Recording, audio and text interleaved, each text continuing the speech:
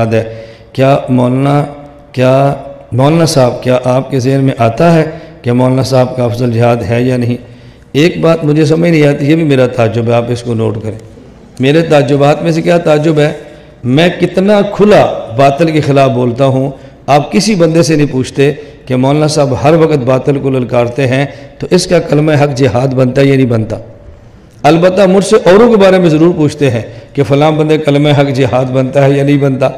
मैं आपसे कहता हूँ, जितनी खुली तइद मैं करता हूँ, इतनी खुली तइद आप किसी से मेरी भी करवाएँ।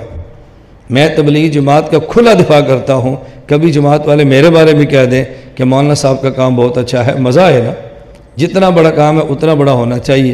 तो मैं तो मौलाना की बार बार मदद करता हूँ, कई बार तारीफ़ की है, बार बार कह चुका हूँ, आप जमीयत के हजरात से भी ऐसी बात कह दिया करें, और जमीयत के काबिर मेरे साथ है हमदिल्ला आपने दौरों में देखा है मौलाना फजलरमान साहब की मोहब्बत भी देखी है। हम समझते हैं असम्बली के अंदर। मौलाना फजलरमान साहब, दामद बरक़ात वजूद, अल्लाह की बहुत बड़ी नेमत है।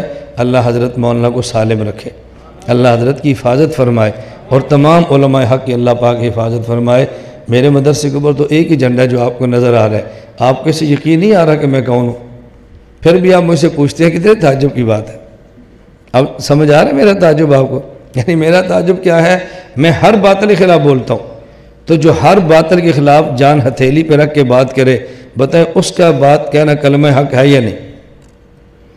अभी जो पिछले दिनों में एक रेला चला है नज़रबंदियों, गिरफ्तारियों का, उसके अंदर छोटे भाई खबैब ने भी तीन माह जेल काटी और उसके बाद मैंने भी तीन माह काटी। तो मेरे अलावा कितने की आदत है जिनने छः छः माह तीन तीन माह जेल काटी है?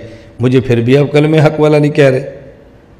आपको तो मेरे बारे में पूछना चाहिए भाई ये बंदा जेल भी काट रहा है, फिर भी अकीदा बयान कर रहा है। मुशक्क़त बर्दाश्त कर रहा है, फिर भी कलम हक कह रहा है। तो मौलाना साहब, इसके कलम हक को भी जिहाद कह दो। ये किसी से आपको कहलवाना चाहिए कि नहीं? फिर आप मुझसे ही कहलवाते हैं। यानी मौलाना साहब कलम हक भी आप कहें और आप जिहाद भी औरों को कहें। मौलाना फजलमान साहब हमारे बड़े हैं, मैं बारहा कह चुका हूँ। मैं उनका दिल की गहराइयों से अदब और एहतराम करता हूँ। अल्लाह पाक उनको महफूज रखे। और मैं बसा अवकात मौलाना फजलमान साहब के लिए बाकायदा दो रकात सलातुल हाजा पढ़ के उनकी आफ़ियत के लिए अल्लाह से दुआ करता हूँ। जमीयत इस्लाम को वोट न देना किस वजह से गुनाह है और इमरान खान को वोट देना किस वजह से हराम है? देखें हमारे यहाँ साथी पूछते हैं जमहूरीत हम कहते हैं ना ये कुफर है, ना ये इस्लाम है। जमहूरीत हमारी ज़रूरत है। अब हमारे मुल्क में जो भी कानून बनेगा, असम्बली से बनेगा और असम्बली में जो भी जाएगा वोट से जाएगा।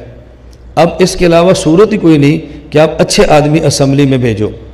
अब अगर जमीयत के अलावा और अच्छे हैं, आप हमें बता दो, हम उनको वोट देते हैं। और अगर और नहीं है तो फिर इन्हीं को वोट देंगे ना।